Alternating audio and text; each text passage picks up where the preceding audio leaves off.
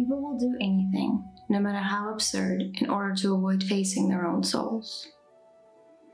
They will practice Indian yoga and all its exercises, observe a strict regimen of diet, learn theosophy by heart, or mechanically repeat mystical texts from the literature of the whole world, all because they cannot get on with themselves and have not the slightest faith that anything useful could have ever come out of their own souls.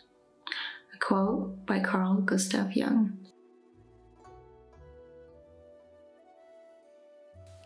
When I began to do my research on the mandala, I realized that I couldn't comprehend that was so inherently magical about these geometrical patterns. I mean, intellectually, I knew that sacred geometry, like a puzzle, fits into the world. These patterns can be found in plants, animals, architecture, and people. Many religions and cultures devote their practices to mandalas. Intuitively, I knew there was something to it, but what? Why meditate on a mandala?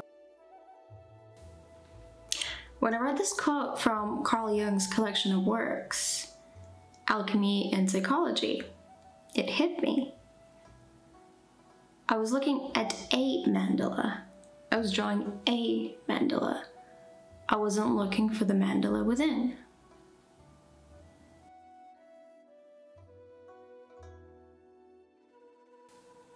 The word mandala comes to us from Sanskrit and means circle.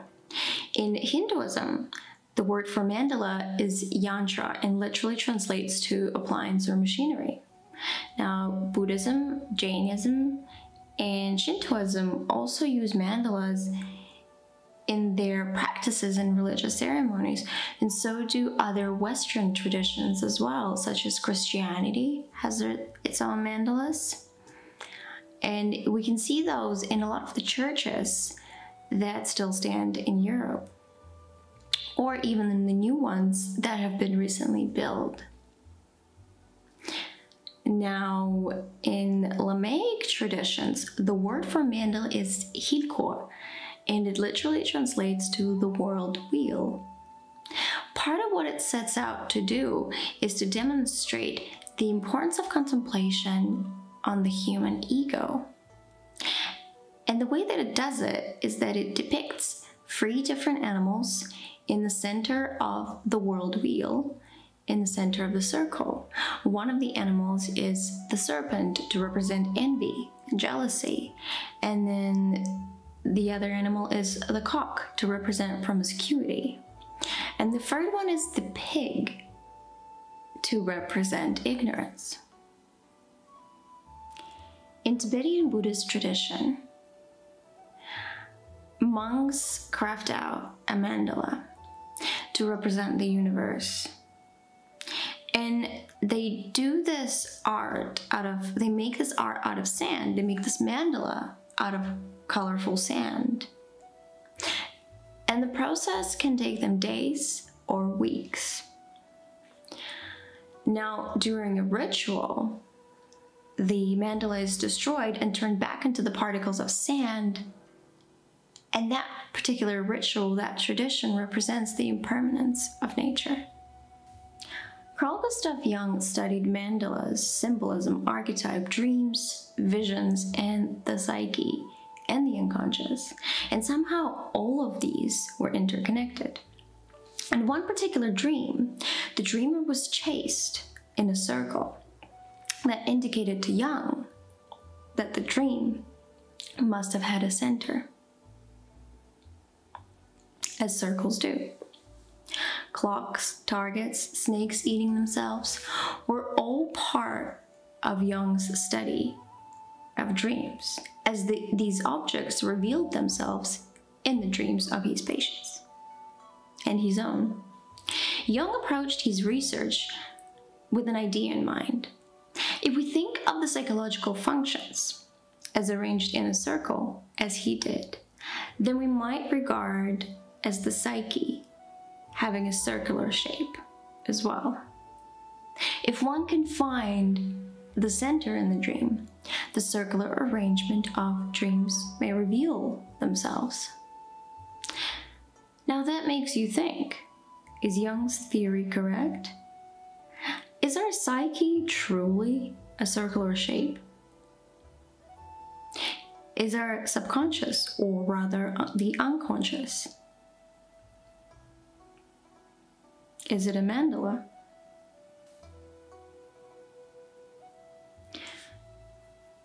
In his 30 years of research, Jung discovered that the mandala, when you meditate on it or you draw it, always leads the eyes to the center. Just like life leads you towards wholeness, or as Jung like to say, individuation. Now, a good question to ask now are our dreams leading us toward the center as well? And thus towards wholeness, individuation, to put our fractured parts back together? Well, Jung certainly thought so.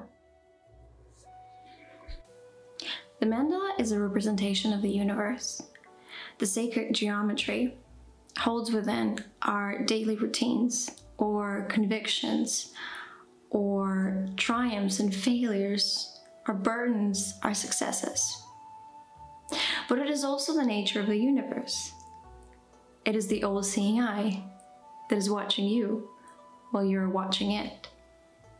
Now, it would be impossible to make a video about all there is to know on mandalas, but if you're interested, what I would encourage you to do is to dive in deeper into research, and there are some books that I might recommend if you'd like to start learning more about the subject. Here are some books that I found valuable. There are more books out there, of course, but maybe one or two out of these will pick your interest. Mandala by Lori Bailey Cunningham is a gorgeous book that covers all the basics. Got shapes and arithmetics of the universe and their meanings using gorgeous examples or from nature and man-made architecture and art. If you're more arithmetically and geometrically inclined, you might want to get your hands on the Geometry of Art and Life by Matila Ghyka. Hope I'm saying that name, pronouncing that name correctly. For someone who wishes to read something more esoteric, The Ancient Secret of the Flower of Life by Drunvalo Melchizedek is a fascinating story that incorporates a version of the Earth's history from 13,000 years ago and what did Thoth had to do with all of it. Another geometrically oriented book with a lot of spiritual inclinations and meanings is The Power of Limits by Gheorghe Doczi. this is a great book for anyone interested in the topic, but I feel like it will be a fantastic book for someone who's an artist and wants to dive in deep into understanding the sacred geometry. Another book or journey perhaps that is great for artists and meditators alike is How to Create Mandalas by Jessica Mazurkiewicz. God, I need to learn how to pronounce these names. I think the title here speaks for itself. Sacred Geometry is also a good book uh, by Robert Lawlor. And of course, Carl Gustav Jung was fascinated with mandalas and has recorded extensive information on the subject. Men and his symbol and psychology and alchemy by Jung both include some fascinating historical, spiritual, and psychological insights on the nature of mandala.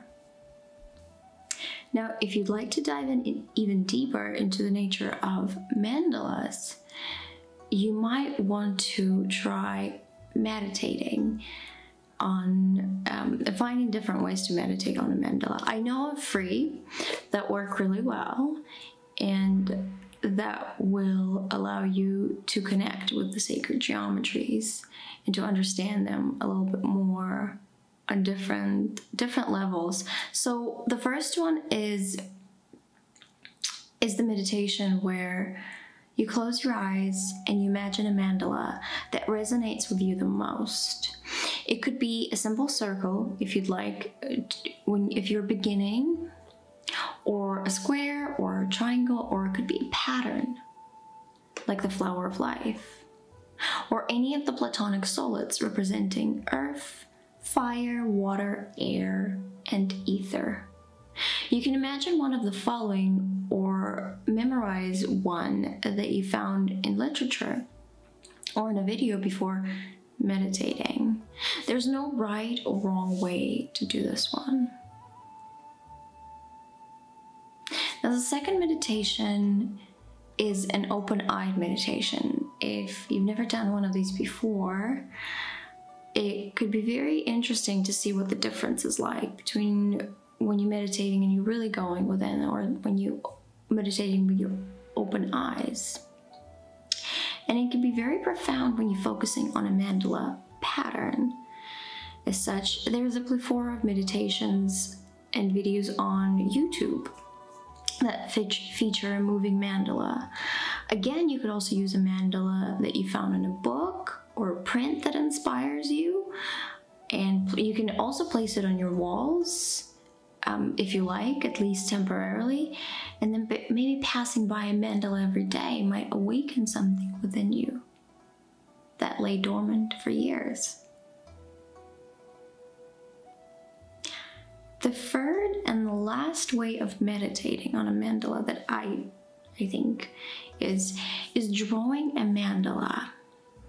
It used to be Carl Jung's favorite way to understand uh, understand these concepts. And Jung also prescribed this method to his patients. Now, if you'd like something that is more balancing your nature, say you'd like to become more grounded or you like to open your third eye and start seeing the world from a different perspective, then you could incorporate the five elements as we've mentioned before earth for grounding,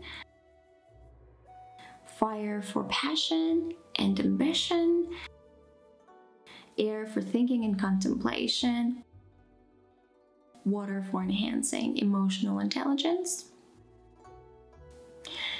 and heaven for higher and spiritual understanding and insights. The Platonic solids is a good place to start with this end of war. If that is not for you, you could also draw a mandala intuitively and attempt an analysis of its meaning, if you like, once the drawing is complete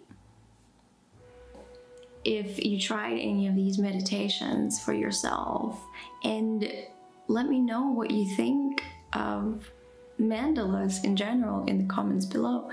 And I hope to see you next time. Thank you.